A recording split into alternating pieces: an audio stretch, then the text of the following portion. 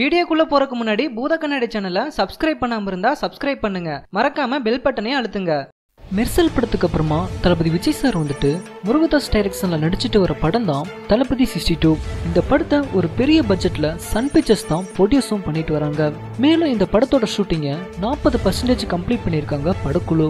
அது மட்டும் இல்லாம கோலிவுட் ஸ்ட்ரைக் முடிவுக்கு வந்தனால சீக்கிரமாவே படத்தோட அடுத்த கட்ட ஷூட்டிங்கை ஸ்டார்ட் பண்ண போறதாவும் முருகதாஸ் தெரிவிச்சிருந்தாரு. அதை தொடர்ந்து மறுபடியும் பச்சையப்பா காலேஜ்ல நேத்து நைட்டு தளபதி சிக்ஸ்டி டூ படத்துக்கான ஷூட்டிங்கை எடுத்திருக்காங்க. அப்போ அங்க எடுத்த போட்டோ அப்புறம் வீடியோ வந்துட்டு சோசியல் மீடியால வைரலா பரவி வந்துட்டு இருக்கு இந்த சீன்ல தளபதி விஜய் சார் வந்துட்டு செம்ம ஸ்டைலிஷா இருக்காருன்னே சொல்லணும். குறிப்பா இந்த காட்சி வந்துட்டு கிட்டத்தட்ட தௌசண்ட் பைக்ஸை வச்சு விஜய் சாரை சேஸ் பண்ற மாதிரி அமைச்சிருக்காங்க.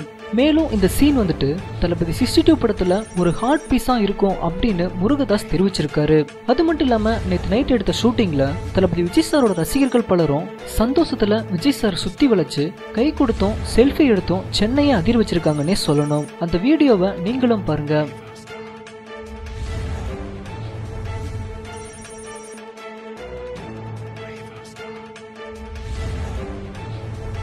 மேலும் இந்த படத்துல விஜய் சாருக்கு ஜோடியா கீர்த்தி சுரேஷ் நடிச்சிட்டு வராங்க.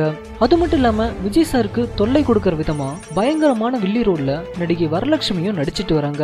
இந்த படத்துக்கு ரஹ்மான் சார் தான் மியூசிக்கும் கம்போஸ் பண்ணிட்டு வராரு. மேலும் இந்த படத்தை வர தீபாவளிக்கு ரிலீஸ் பண்ண போறதாகவும் படக்குழு ஏற்கனவே தெரிவிச்சிருந்தாங்க. கண்டிப்பா வர தீபாவளி தளபதி தீபாவளியா தான் இருக்கும் அப்படின்றதுல எந்த ஒரு சந்தேகமும் இல்லை.